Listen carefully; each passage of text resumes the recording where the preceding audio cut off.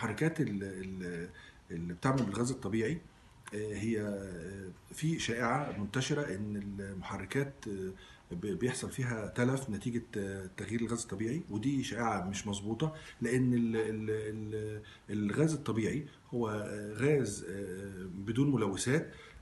بالعكس هو خالي من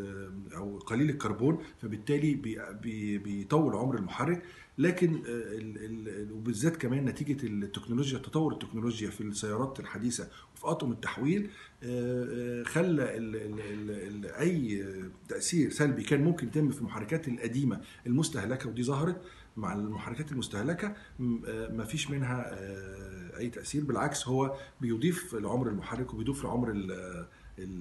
أجزاء السيارة.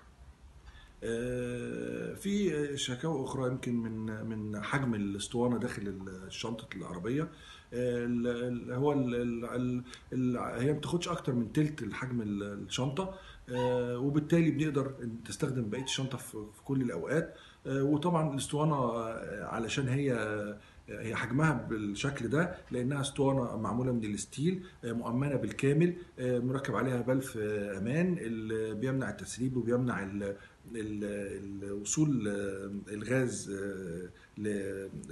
لمرحلة يعني درجة حرارة معينة وبالتالي ال- ال-